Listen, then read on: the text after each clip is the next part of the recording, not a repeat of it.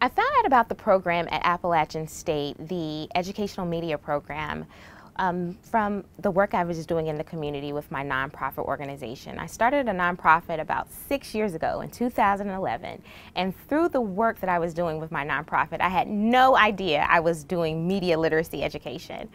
But as I dove into doing programming that eventually led to the formation of this amazing nonprofit that I think um, called I Am Not the Media, I met a lot of professionals in the community. Um, one of the amazing people I met was the the executive director for the National Association of Media Literacy Education. I remember being on a conference call with her and we were discussing all of my plans that I have with media literacy here in North Carolina. And I remember her telling me, I don't see too many organizations in North Carolina that's doing the work that you're doing, Jimmeka. What are your plans? And I told her how I really want to create more curriculum that focuses on media literacy in our community. And I really do want to connect with other people that are doing the work, but it is hard for me to find those people in our community. She initially told me, you have to look at this program that's at Appalachian State. Appalachian State is the founding father of media literacy. And I'm thinking, wow, I'm in North Carolina. This is perfect.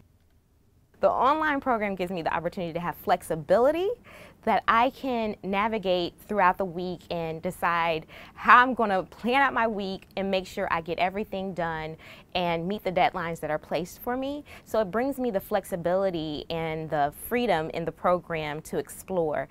I've taken Dr. Redmond twice. I took her for instructional design and I took Dr. Redmond also for a course that focused on global perspectives with technology.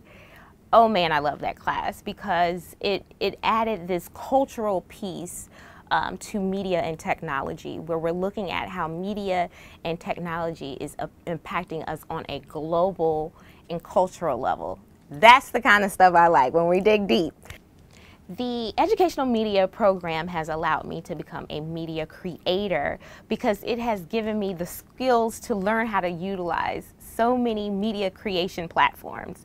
I've learned how to use Adobe um, Suite. I've done Dreamweaver, Muse, Photoshop, Illustrator, all different forms of um, platforms with the Adobe Suite to learn how to do media creation.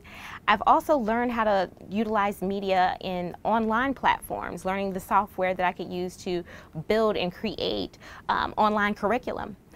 I've also taken courses to learn how social media can be utilized in an educational setting and how to create learning experiences through social media. Having the ability to become a media creator allows you to take reins of the power and influence people in a positive way, utilizing this amazing, powerful tool called media the stop motion animation video that I created was utilized to promote um, our program that we have for our nonprofit that focuses on um, body image in the media. So it was a cool animation video that's already been shared on our social media page and I am now using as an intro to the program a lot of my classmates, we do a lot of um, meetups with Google Hangouts and Zoom calls that we, it's like having that one-on-one -on -one interaction where I'm looking at them face to face and having conversations and learning so much about their lives.